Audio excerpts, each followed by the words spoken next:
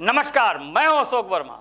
TV twenty news रोज़ाना ताज़ा update के साथ ही ताज़ा तरीन खबरें आपको उपलब्ध कराते रहता है।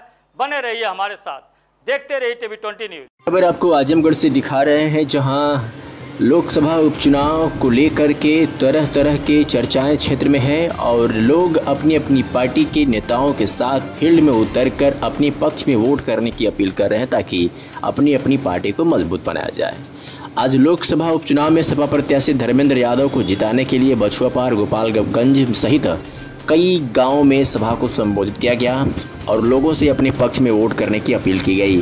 बता दें कि आजमगढ़ लोकसभा उपचुनाव में सपा प्रत्याशी धर्मेंद्र यादव के समर्थन में आज बछुआपार गोपालगंज में आयोजित जनसभा को संबोधित किया गया।